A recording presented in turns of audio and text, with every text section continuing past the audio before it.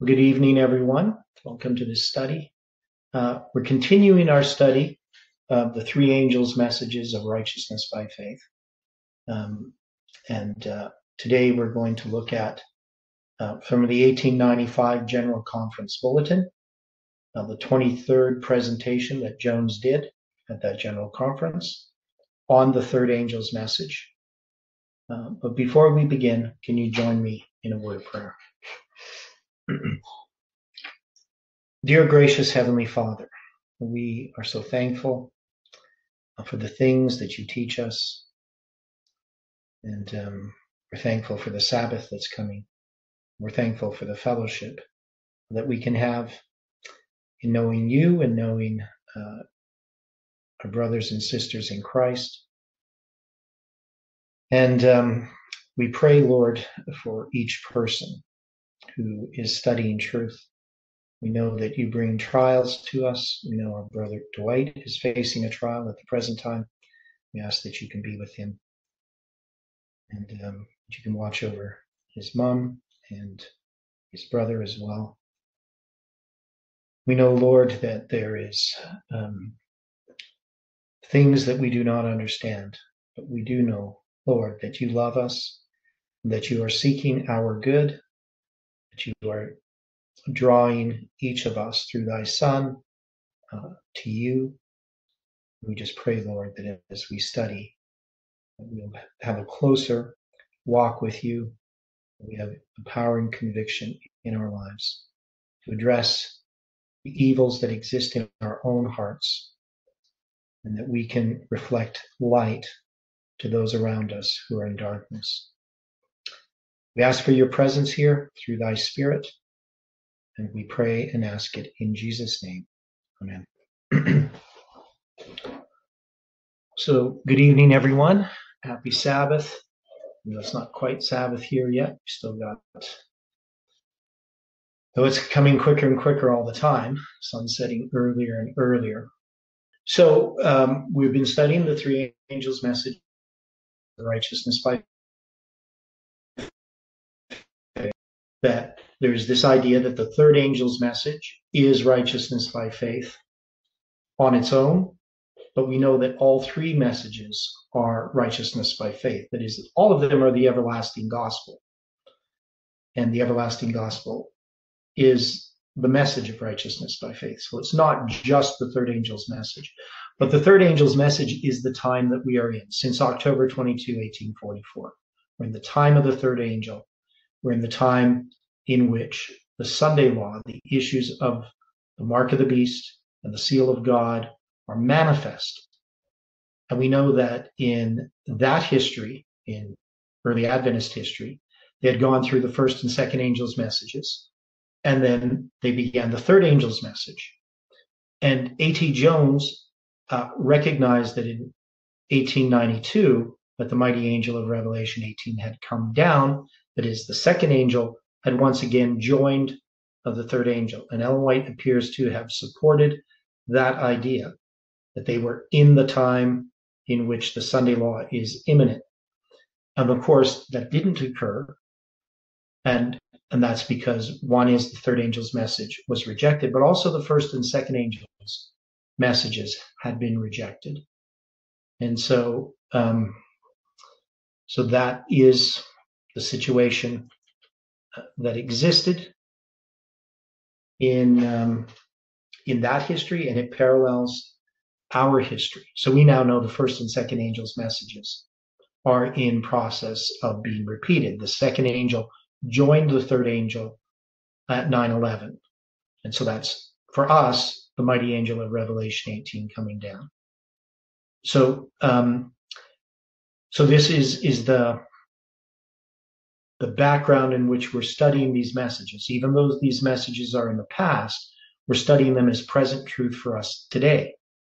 That is, that history parallels ours. And so we are in this history. And the understanding of righteousness by faith has been clouded within Adventism, uh, especially within that period um, that we would mark as the time of the end, 1989, so the first angel's message is going to be rejected by the church, and the second angel as well is being rejected. but God is still delivering those messages. They're repeated and they're going to be repeated again to the church. So we're in part of a movement that is understanding Millerite history and the repetition of Millerite history. Now, uh, in the last presentation, Jones was dealing with this um, this might against right and the power of right against might. And if you go back to uh, the beginning, uh, even going back to the 18, I guess it was, I think it was the 1895 General Conference Bulletin, where he's going to talk about that. I can't remember if it was the 1893 or the 1895. I'm forgetting. I think it might have been 1893. But he was talking about uh, doing um, um, uh, what do you call it? Uh, petitions. And he's just saying, you know, that that it's too late, that our work is not to try to change things. These things have already uh, come into play. And, and basically saying that we can't look for the state to protect us. We need to look to Christ. And, and you can see how that fits in with what he's presented last time and what he's going to talk about here as well. Um, that our dependence is upon God. It's dependence upon the power of right. So, so just keep that in mind that this has really been his message. His message about the third angel's message is about a dependence upon God. Uh, but that includes also the first and second. So he says, I referred last night also uh, to a testimony on the thought as to this cont- contest between the spiritual powers. I will read that at this point because it touches not only that, but this thing that we have studied right here as to our being absolutely dependent upon the power of right itself to win. We need not get stirred up, nor be abusive, nor anything of the kind, but just state the simple principle and let it stand, trusting to itself to win. Now, this is a difficult thing, I think, for, for us um, to understand is that we have to trust in God and not in ourselves. Okay, so I'm still having the same problem. I'm trying to fix this problem here. Sorry about that. that we trust that God is going to accomplish something that he promises in spite of what we see. That is, um, when we look at uh, the things of this world, um, we see them. Um, we see all these problems that are existing in this world. We we would like to see them change. We're not happy with what's happening in this world, and uh, we have we're being drawn in by Satan into the things of this world. Remember, we are ambassadors. We have nothing to do with this world. Our kingdom that we are a part of is Christ's kingdom, and it's not a part of this world. And so, if we're drawn into this world, if we're drawn into that battle, uh, we have we don't have the power of right on our side. We're, we're using human power to solve that problem, and that's not going to solve the problem, right? So, um, so the power of, uh, let me see here. So the power of right, to trust in the power of right, takes faith. Now, the power of might doesn't take faith. That is, when we're operating by might, we're operating by sight. Does that make sense?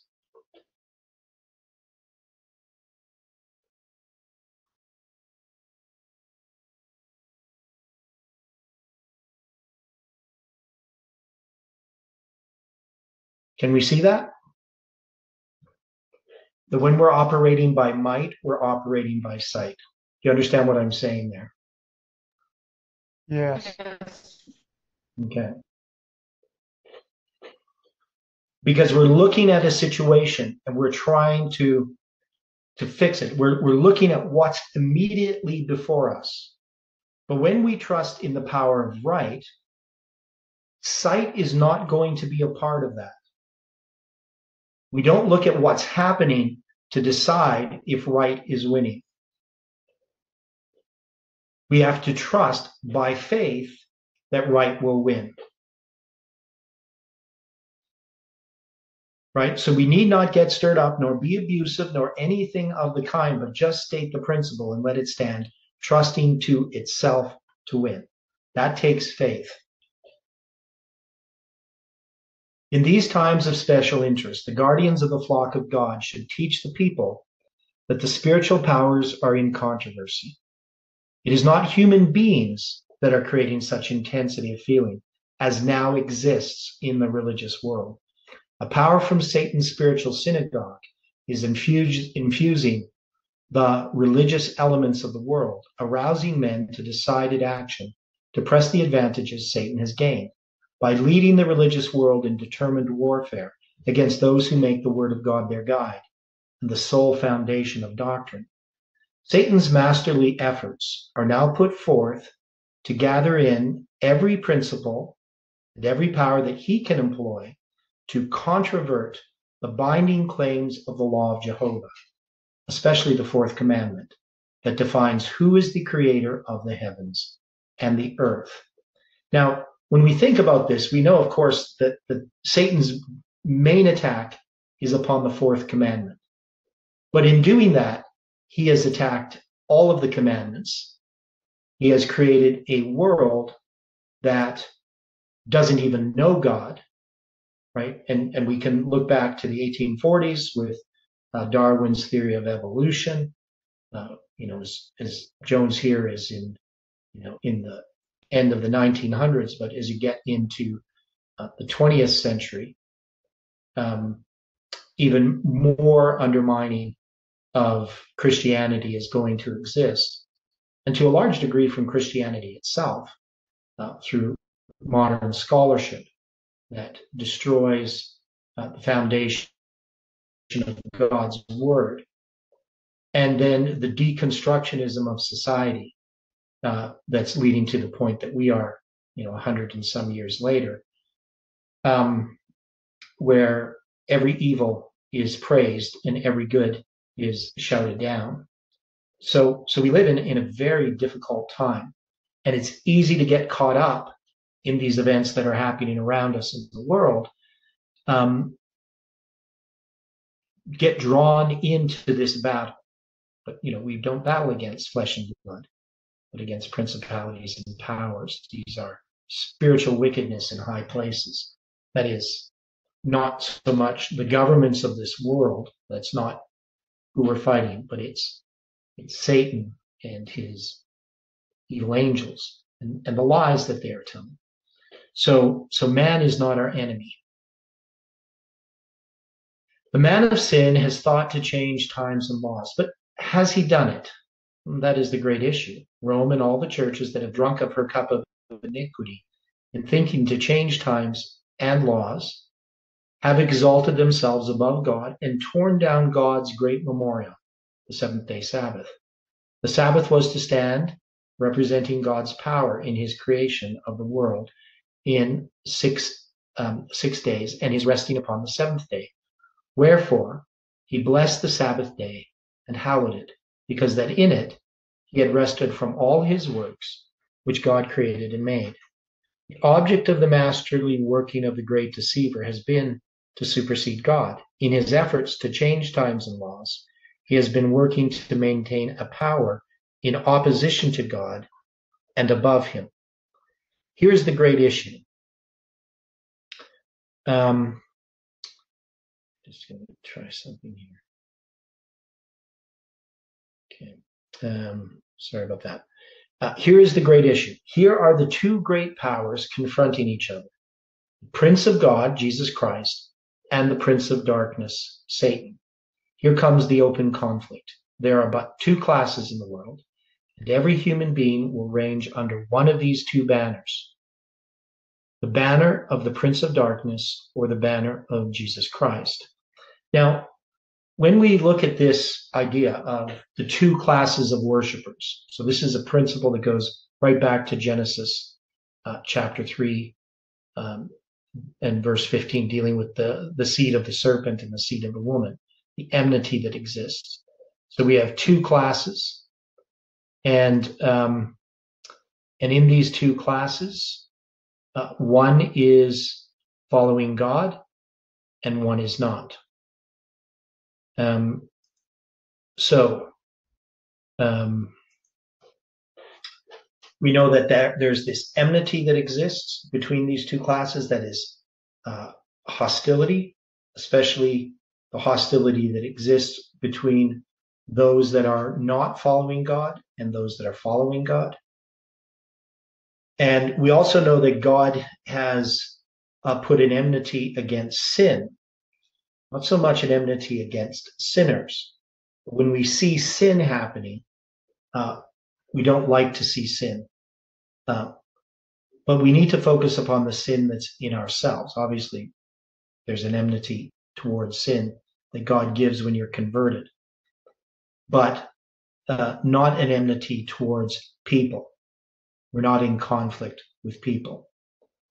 So we have these two great powers, the Prince of God Jesus Christ and the prince of darkness, Satan. Here comes the open conflict. There are but two classes in the world, right? And every human being will range under one of these two banners the banner of the prince of darkness or the banner of Jesus Christ. It's clear that if we're not with Christ, we're with uh, Satan. But to appeal to any kind of might in favor of the right is to step on which side of the contest? It is instantly to put ourselves on the side of might as against right. And that is the wrong side, and that puts us on the wrong side. Whatever our profession may be, it doesn't matter what we say. If we're using might as against right, we're on the wrong side. Now, of course, might can be seen in lots of different ways. We're not necessarily saying you know, physical strength, but even just any of the sort of uh, ways in which Satan operates, a deceit, it would put us on the side of might as against right. Right? Because we're not on the side of right if we're deceitful. You know, scheming, devising, manipulating situations, uh, vying for power and control. And when we do have authority or power given to us in some way by others. We use it in a way to shut down opposition. All of those things are the power of might as against right. So any way in which Satan operates, the way in which the church has operated against the 2520, um, and people who believe the 2520, if we do the same types of things against people that we disagree with, we're on the same side as those who um, oppose the 2520. Even if our profession is different, it's, it's how we act that matters. But to hold steadfastly to the principle of right as against might, right with the might within itself to win, that is the side of divinity. God will inspire his loyal and true children with his spirit. The Holy Spirit is the representative of God and will be the mighty working agent in our world to bind the loyal and true into bundles for the Lord's garner. Satan is also, with intense activity, gathering together in bundles his tares from among the wheat. The teaching of every true ambassador for Christ is a most solemn, serious matter now. We are engaged in a warfare which will never close until the final decision is made for all eternity. Let every disciple of Jesus be reminded that we wrestle not against flesh and blood, but against principalities, against powers, against the rulers of the darkness of this world, against spiritual wickedness in high places. Oh, there are eternal interests involved in this conflict, and there must be no surface work, no cheap experience to meet this issue. The Lord knoweth how to deliver the godly out of temptation, and to reserve the unjust unto the day of judgment to be punished. Whereas angels, which are greater in power and might, Bring not railing accusation against them before the Lord. So, so this verse here where it talks about these, these angels that are reserved, the angels themselves are not going to bring a railing accusation against them before the Lord. That's the Lord's work. Here's the principle you see that we have no reproach, no railing accusation to bring against anybody or against any opposition anybody may make. We trust the truth which we preach. The power is in the thing, not in us. It is not only its own defense, but it is our defense too. And we do not have to defend it by condemning others. The Lord would have every human intelligence in his service withhold all severe accusations and railings. We are instructed to walk with wisdom toward them that are without. Leave with God the work of condemning and judging. It is all the same story. The truth itself is to be its own defense. The right itself is to be its own support, and ours too. Christ invites us, Come unto me, ye that labor and are heavy laden, and I will give you rest. Take my yoke upon you and learn of me, for I am meek and lowly in heart, and ye shall find rest unto your souls. Of course, that's one of my favorite verses, uh, and Ellen White quotes that many times, learning in the school of Christ. But we see that um, this power of might against right, this taking up this yoke, trusting in Christ, is contrary to the world. Everyone who heeds this invitation will yoke up with Christ. We are to manifest at all times and in all places the meekness and lowliness of Christ. Then the Lord will stand by his messengers and will make them his mouthpieces. And he, who is mouthpiece for God, will never put into the lips of human beings words which the majesty of heaven would not utter when contending with the devil. Our only safety is in receiving divine, divine inspiration from heaven. This alone can qualify men to be co laborers with Christ. Now, we will study a little further along that line. In our study of the principle, the power of might as against right, we found in the previous lesson, had taken possession of this world by deceiving and bringing under his power the one into whose possession this world and the dominion of it had been put. So he studied, we studied last time, when you take the power of might against right, you actually come under Satan's dominion. You become part of his kingdom. Even though you may think you're opposing error and trying to put things right, you, you actually enter onto his territory, you become part of his dominion. Now, the Lord, the God of heaven, did not propose to use any of the power of might, any kind of force, to take that dominion out of Satan's hands, even though it be true that he unjustly held it. Now, think about that. Christ did not come, you know, to be this conquering Messiah. And why was that? Why, why didn't Christ just come at that time and, and conquer the kingdoms of this world? He had the power to do it, and he didn't do it. Why not? Because that would have been entering into Satan's dominion. He would have been using the methods. That's what Satan was tempting him to do, you know, in the wilderness, to do that very thing. Now, the thing is, Christ never does that, even at the end of the world, without something else first happening. That is, he first has to conquer Satan's kingdom on the principles of the power of right as against might. That is, Christ's character has to be reproduced in his people. He then can take those who are no longer under Satan's dominion, he can take them to heaven. But until they're no longer under Satan's dominion, can he bring them to heaven? If he did it by force, it wouldn't benefit those that he delivered. They would still be in Satan's dominion. So these people are unjustly held, right? in, to some extent, right? Everyone, Satan doesn't really have a right to this dominion. But Christ recognizes that he has this dominion because of the lie told at Eden, because of sin. And so, in order to conquer Satan, he has to conquer sin. There would have been no injustice in taking it back, but that is not God's way of working. That is what we are studying.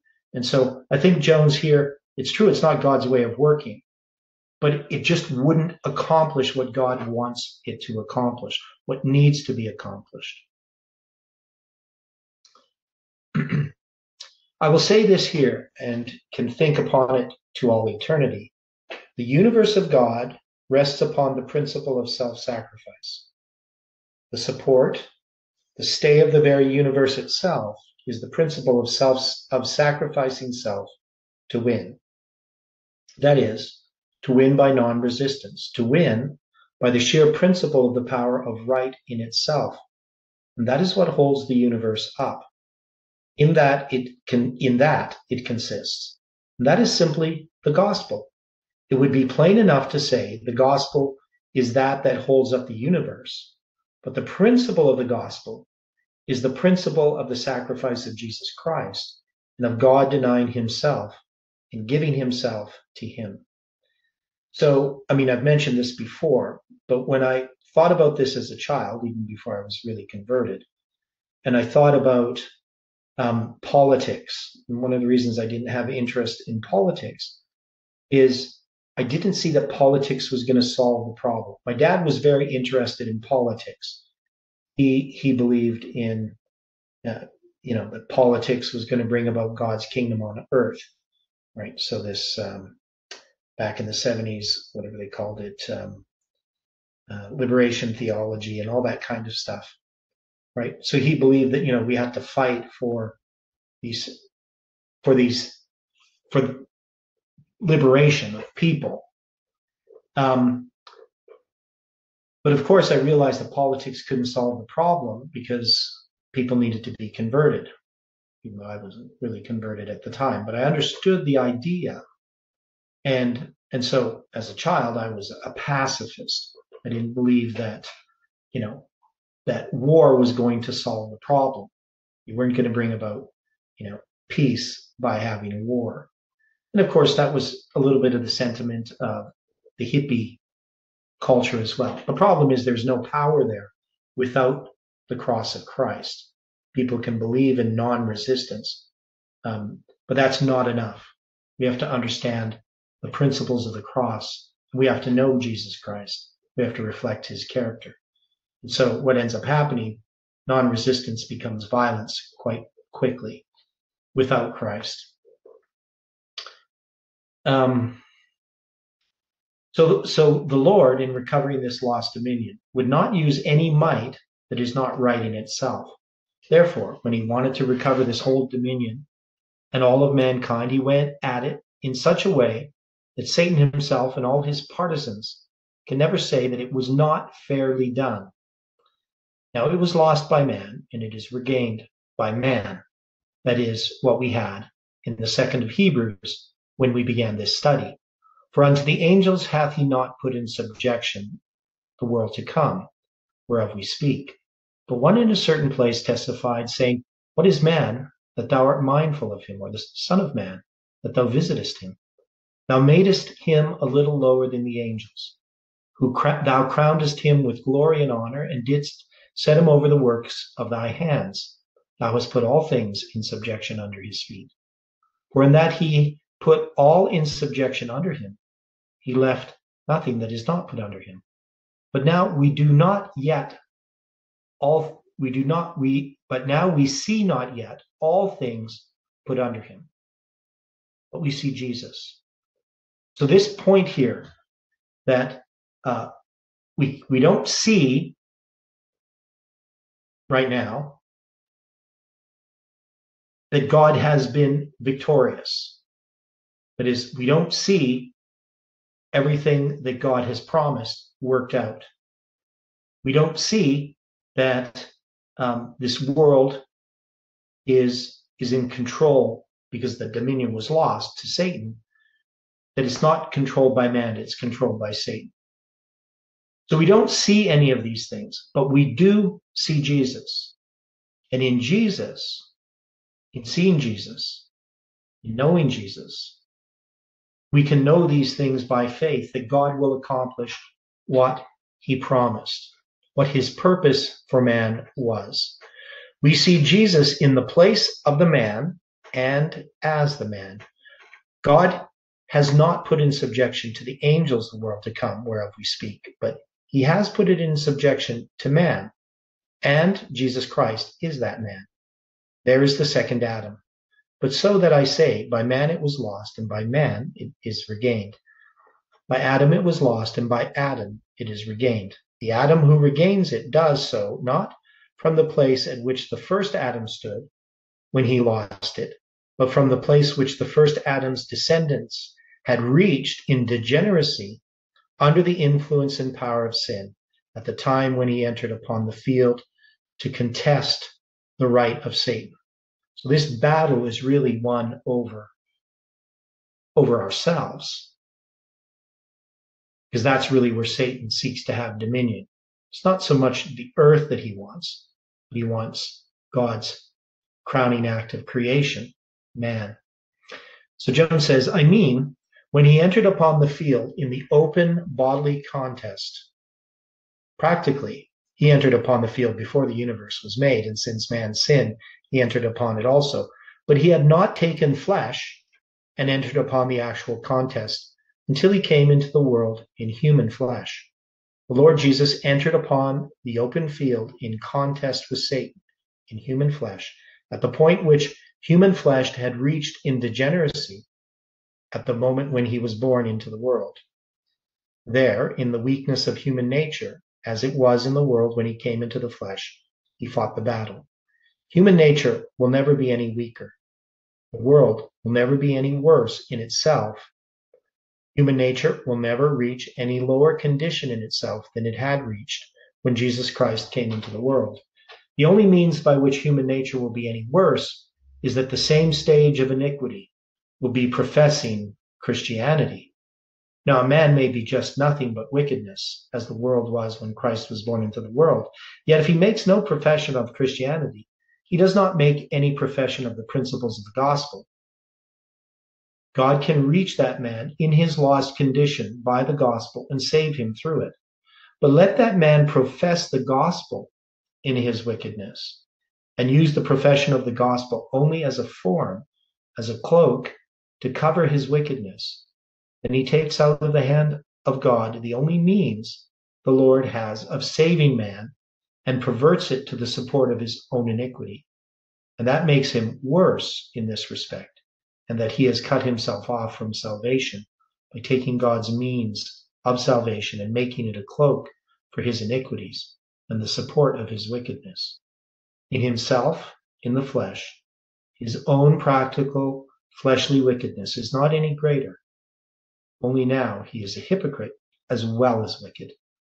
The world in the last days will not be any worse in itself than it was when Christ was born into the world. The only way in which it will be worse is that in having a form of godliness, but denying um, the power thereof, it uses the profession of Christianity to cover its ungodliness, and so perverts God's only means of salvation as to destroy itself against all remedy.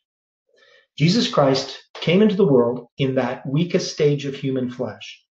And in that flesh, as a man, he fought the battle with Satan. But Satan himself can never find any fault with the way of salvation as being in any sense unfair. Satan deceived and overcame man as the man stood in the glory and image of God with all the blessing and the power and the goodness of God on his side. Now, when this second Adam comes into human flesh, right at the point to which Satan had brought the whole race by sin, and there in all this weakness enters upon the contest, Satan can never say that that is not fair. He can never say, You have taken an unfair advantage. You have come here with too strong a panoply, panoply about you, uh, with too many safeguards for it, it to be a fair contest. He cannot do it. For there stood Christ in the very weakness of the flesh to which Satan himself had brought man. Christ came in the very weakness which Satan had brought upon the race. And in that weakness says, Here we are for the conflict. And our brother won it. He won it. Thank the Lord and glory to his name. Now, another view or another phase of the same view. You remember in the week of prayer readings, one of them was on the subject of loyalty to God. And the passage in Job was considered relative to the sons of men which came before the Lord. And Satan came also among them. The thought was presented that these sons of God were those from the other worlds, the different parts of the universe, corresponding to what Adam was as he stood at the head of this world when the world was made and put under his power and given him as his dominion. The scripture says Adam was the son of God. Now, when Satan came into the world and took dominion by taking under his power the head of the, his, this dominion, he then stood in the place in this world where Adam should have stood. Therefore, when the sons of God from the other worlds came to present themselves before the Lord, Satan came also among them and presented himself before the Lord as the representative of this world, which is under his dominion. I simply present this to call your attention to the thought for further study. So I think we're familiar with that idea. Um, anyway, he goes on. Now, from Satan's dominion here, ever since he obtained it, God has been calling from this world people to himself. Ever since the day that Satan obtained control of this world, and God said, I will put enmity between thee and the woman, and between thy seed and her seed. God has been calling people from the ranks of Satan unto himself and into his dominion. And many had been coming all the time, but all this time Satan had been making the charge that that was not fair. He was arguing, these are my rightful conquest and you are leading them off to you. What have you done? What have you done that by right? You can't, you can do that when I gained it here. Thus he was always contesting the right of God to do this, and was also accusing all those whom God called out of this world unto himself. He was accusing them before God day and night. He declared, These are my property. They are my rightful subjects. They are laden with sin and are altogether wicked. Yet you call them out and justify them and hold them before the universe and propose to hold them up before the universe as though they had been good all the time. That is not fair. They are sinners. They are wicked. They are just like the rest of us over here. Thus, he is the accuser of the brethren, accusing before God day and night every one who had turned from his authority unto God's. And you can see this, this principle of the great controversy, that in order for those that have died to be secure in heaven, there has to be a work that is accomplished that answers Satan's accusations. And we know that Christ came and he's done that for those that believe. But there still is ultimately this answer to Satan's accusations against God. Now, Jesus came into the world to demonstrate that he had the right to do all this and that it was fair. And he came at the point of weakness, which we considered a while ago, and entered upon the contest with Satan to recover by right the headship of this lost dominion. Now, notice, Satan had gained, not by right, but by might as against right, the headship of the dominion from the first Adam to whom it was rightfully given. Now, if we think about this, how is it um, by might? Well, one is he used deceit, right? That is part of might. He didn't use an army to come. So he didn't use might in that way, but he used might through manipulation. The second Adam comes not by might as against right, but by right against might and regains the headship of this world and all the dominion of it. Therefore, when he was raised from the dead, he was raised up to the headship of all principality and power and might and dominion, not only of this world, but also of that which is to come. Now, turn to the 12th chapter of Revelation. There's a passage from which from which is derived all this that I've been saying. When Christ was born into the world, the visions Vision opens, and there stood Satan ready to devour Christ as soon as he should be born. The seventh verse. There was war in heaven.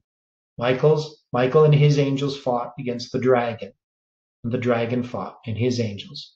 And the great dragon was cast out, that old serpent called the devil and Satan, which deceiveth the whole world. He was cast out into the earth, and his angels were cast out with him. And I heard a loud voice saying in heaven, Now is come salvation and strength and the kingdom of our God and the power of his Christ. For the accuser of our brethren is cast down, which accused them before God day and night. Now, the word accuser there signifies in the Greek, he who accuses another in a court. And that would correspond in our country to a prosecutor.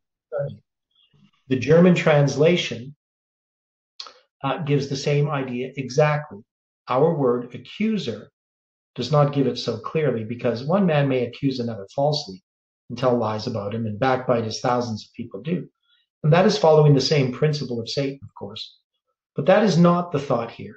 Here, this accuser is one who comes as a prosecuting attorney into a court. You see the situation. Here was Satan, who had this dominion, and God was calling and receiving those who would turn to him from the power of Satan. But Satan claimed the right to all these subject, um, all these subjects. Anyway, now he would enter into the court of God, and there, as a prosecuting attorney, he would prosecute all these his subjects as slaveholders used to do under the fugitive slave law in the United States. He would prosecute all these in that court and demand that they should be given up once more to his authority and that it was not injustice or out of right that they should be thus taken away. And two, there was room for him to present that argument with an apparent shadow of right to it because the contest had not yet been carried on. The battle had not been fought and the victory won so completely that his argument and his right as a prosecuting attorney should be annihilated. Now, it is true that the promise was certain and the victory was certain and the promise of God secure, but still it was yet to be tested in an open conflict in the flesh, so that when Christ came into the flesh, there was just as much temptation upon him through the power of Satan as though there never had been any promise of redemption. Or shall we say that much? Shall we say that when Christ did come in the flesh, there was as much temptation for him to meet, and it was as real as temptation as though no promise had ever been made of redemption? Assuredly. If not, then he was guarded against temptation, and the conflict was not real, but more imaginary than real. He came into the world to demonstrate the unrighteousness of the argument that Satan was presenting in the courts of God as the prosecuting attorney from this country. That is the thought. It is legal all the way through. Jesus came here into Satan's territory and took human nature at the point to which Satan himself had brought it. In this human nature, he met Satan on his own ground and against all his own power defeated him merely by the power of trusting in right itself as against might. Um, he exercised no shadow of might, it should say there. It says right, but that's why they put that uh, citation there. So, himself to do anything of himself, to protect or help himself. So he exercised no shadow of might himself to do anything of himself, to protect or help himself. He trusted completely and fully in that divine power of right as against might and all that it can bring. And he conquered and thus became by right the head of this dominion again, and of all who will be redeemed from it, and of the redemption of the dominion itself. And now that word also in the Greek, which says that the accuser of our brethren is cast down, conveys the idea of a prosecuting attorney who comes into court, but he has no case anymore. Is repudiated.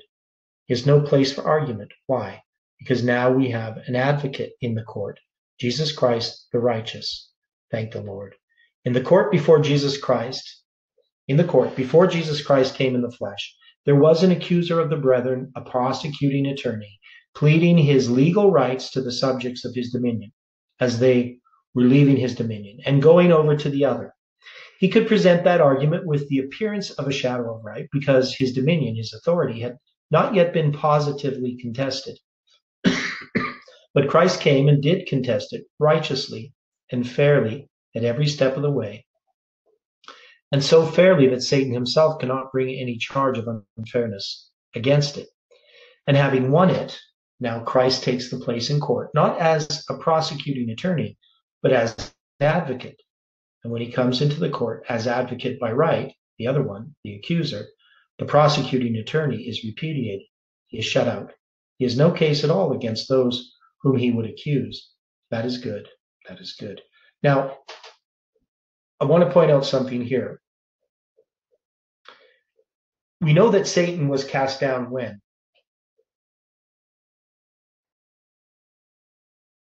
Because Jones has, has quoted Revelation 12, and he's talked about Christ being victorious over the accuser of our brethren.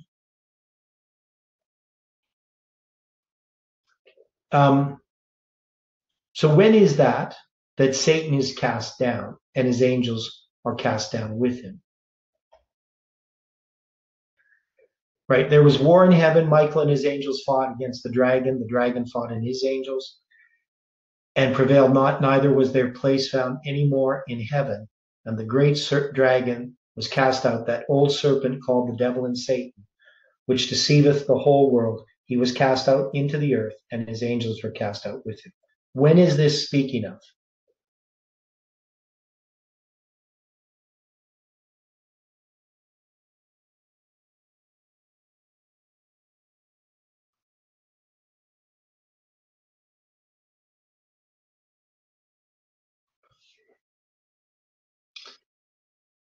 Is this talking about at the beginning of the of the world? Or is this talking about at the time of the cross? Was this talking at, at some other point in history?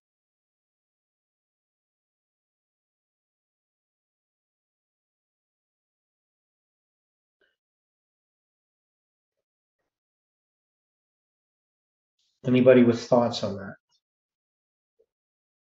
You may not want to answer that question, but we can say that Satan was cast out at the beginning he was cast down to the earth. We can also say that this occurred at the cross. Does this war continue?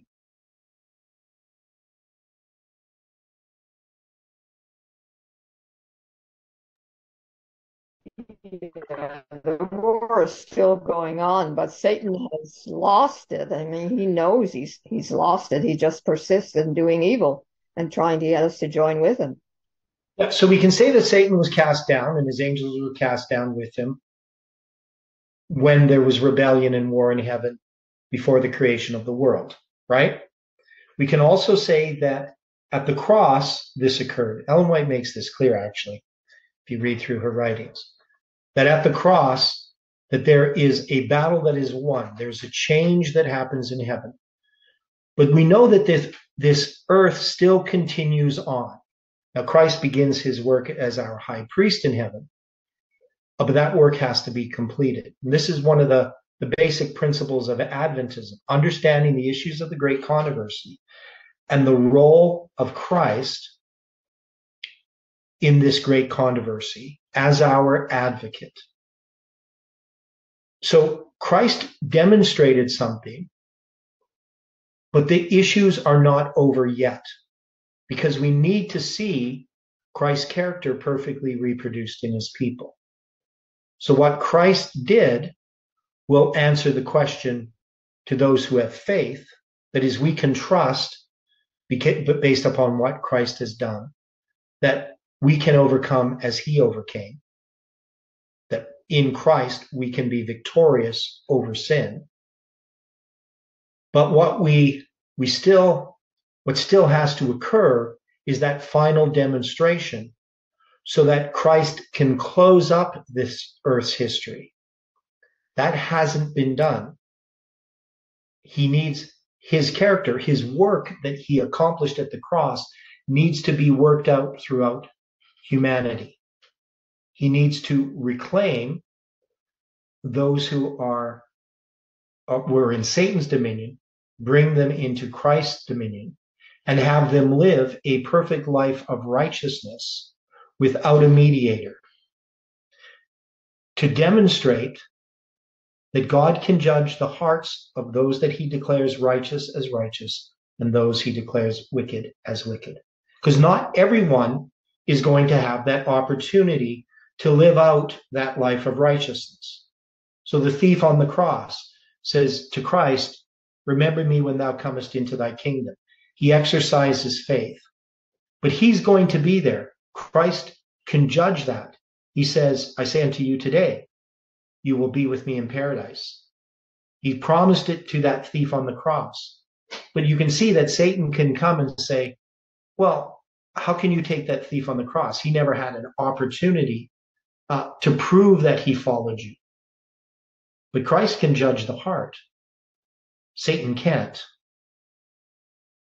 So there are going to be many people in heaven who Christ has declared as righteous, that he's going to know that heaven is secure. And many who believe that we would believe are righteous that are not going to be there. And Christ is going to uh, give the 144,000 a thousand years to examine these books and check these, check that everything was done correctly. So much so that at the end of the thousand years, all of the wicked who have been declared wicked will acknowledge that the judgment against them is just.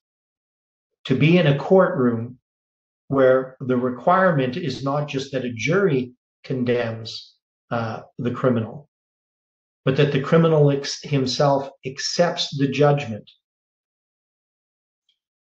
If any criminal was to uh, not accept the judgment, God's work wouldn't have been accomplished. Because even Satan himself will acknowledge that God's judgment is just. And that is the power of the gospel. so um, let's go on here. Hopefully that's clear. These things I write unto you that ye sin not. And if any man sin, there may be an accuser, the accuser still. He may enter his plea as a prosecuting attorney, but now we have an advocate with the Father, Jesus Christ the righteous. And by his standing in court, that prosecuting attorney is repudiated, put out, and cast down. That is the story, and I am glad of it. That is the value of our advocate in the court. He shuts out the prosecuting attorney and takes away his case so that he has no place in court at all. Thank the Lord. Now we come to another point. It is the answer to a query that has risen in the minds of some upon the point that was made the other night that the Lord Jesus in heaven will never be in all respects as he was before. The query is this. There stands the scripture. We read it that we read it that night. We took the text upon that. Father, glorify thou me with thine own self with the glory which I had with thee before the world was. That will be done. That glory which he had before the world was is his now and will be his to all eternity. And so you look in the bulletin page 331, 332, and you'll see the testimony which I read upon the humiliation of Christ. He was born in the form of God. He who was born in the form of God took the form of man. In the flesh, he was all the while as God, but he did not appear as God. He divested himself of the form of God and in its stead took the form and fashion of man. The glories of the form of God he for a while relinquished. Note the difference. The glories of the form of God he for a while relinquished. But the form of God itself he is to all eternity relinquished. Um, that is the contrast that is in the scriptures and in the contrast that is here. Being in the form of God, he took the form of man. Then on page 382 of the bulletin, we read again from the testimony this word bearing our human form before the Father's throne and through eternal ages. Do you see? The difference is not in the glory, it is in the form upon which the glory rests, and through which it is manifested, and through which it is reflected. Now, there's something else in that that comes right along with the thought. He was in the form of God. He left that. He emptied himself. And the French version is translated, He annihilated himself. And it is none too strong, for as to the form which he bore, he annihilated himself, and in that form he will never again appear. Our human form he bears before the Father's throne and through eternal ages. And the glory of the form of God, which he had when he was in the form of God, that glory he brings to our human form. The glory which thou gavest me, I have given thee. He has given the glory of God everlastingly to us, to the human form, to human flesh. Instead of Christ being lowered, we are exalted. Instead of divinities being lowered or lessened, humanity is exalted and glorified. Instead of bringing him down to all eternity to where we are, it lifts us to all eternity to where he is.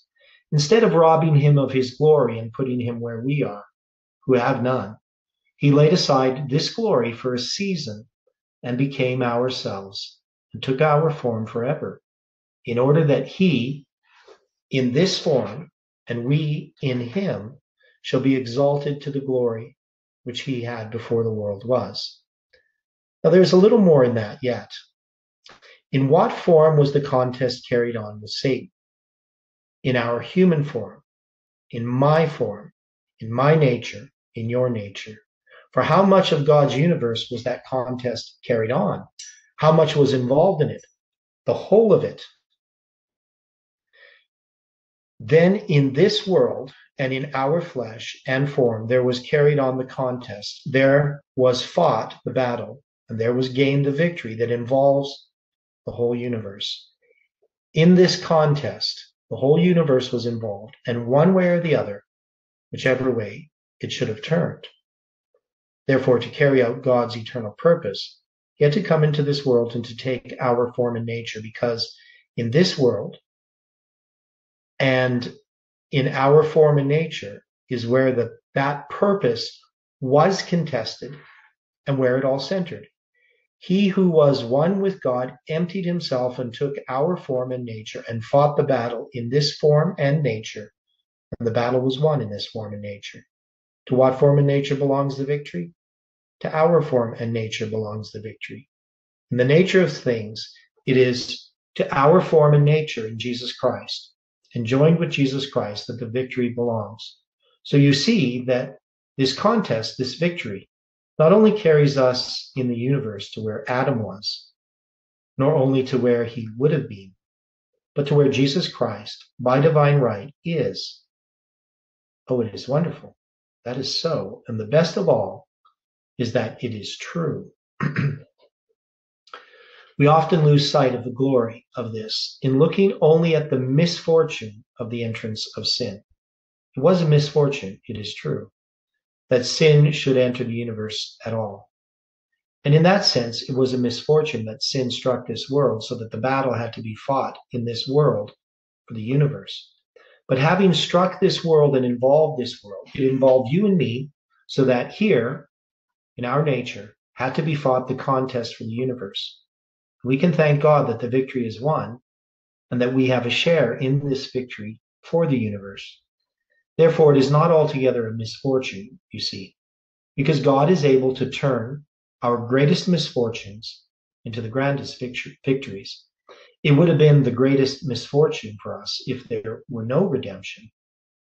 But when God puts his hand to a thing, he turns our greatest misfortunes into the grandest victories.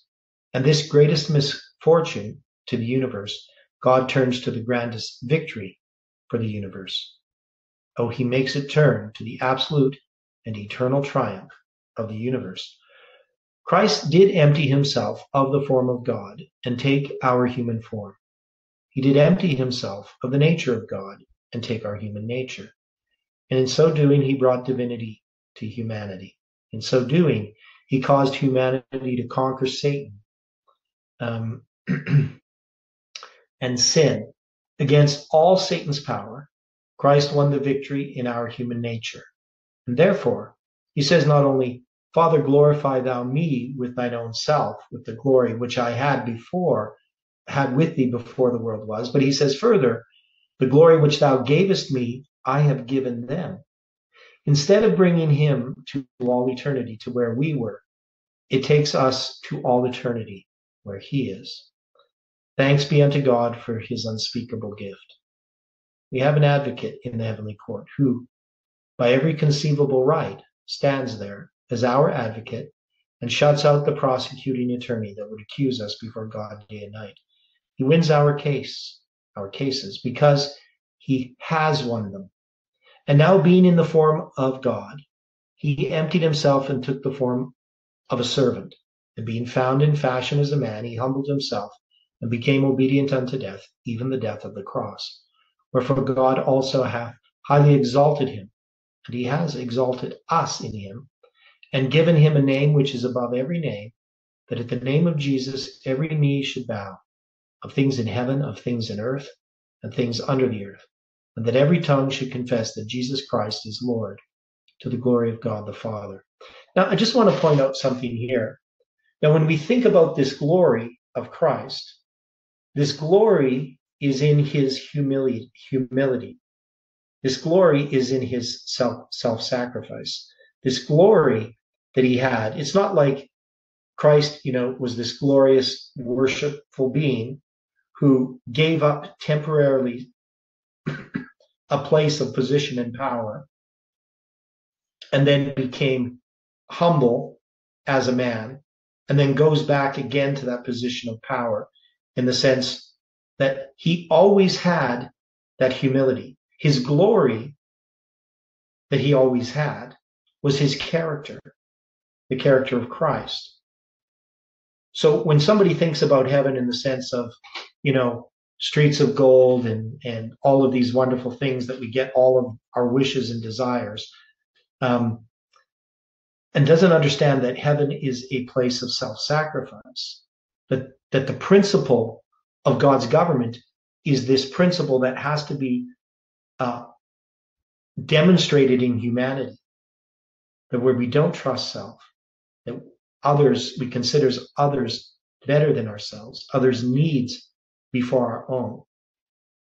So, so in some sense, you know, that glory came with him, maybe not in the same, same way. It wasn't visible, but it was his character. So he, he never, you know, he doesn't have a different character as a man. The humility that he showed is his character. We delight to bow our knees to him now. In that day we shall rejoice to do it also in his glory. But whether one does it now or not, in that day when Jesus Christ is crowned with his triumphal crown before the universe and for the universe, then every knee from Lucifer unto the last man that has rejected him, will also bow and will confess that Jesus Christ is Lord. And they will do it to the glory of God the Father. And in that day, every tongue in the universe will confess the divinity of the truth and the everlasting righteousness of the principle of right as against might.